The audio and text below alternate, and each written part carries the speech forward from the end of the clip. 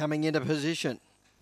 Another gangster, the $2.90 favourite, ahead of Tigalong Dot.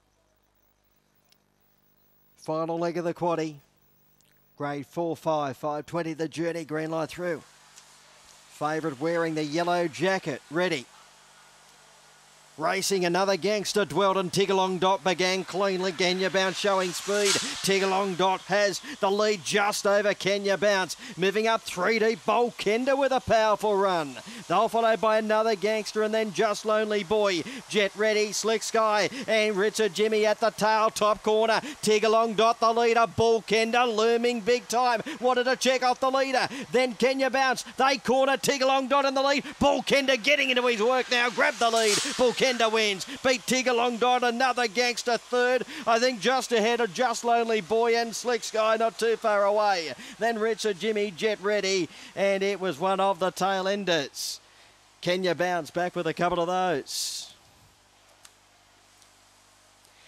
Number eight, Bull Kenda first. Number eight, Bull Kenda first. He got into a great position around the first corner.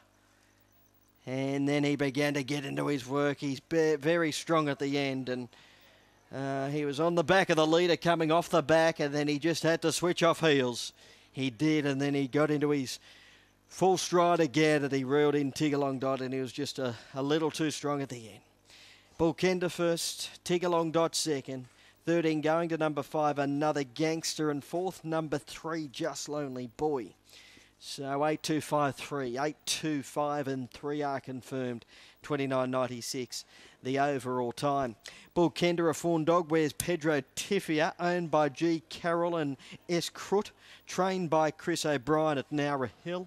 Uh, Tigalong Dot, Kevin Keys, and another gangster, Tracy Bryant two by two and three quarters, two by two and three quarters uh, were the margins, and we're just awaiting on the uh, early and final sections to come through. Eight, two, five, and three confirmed.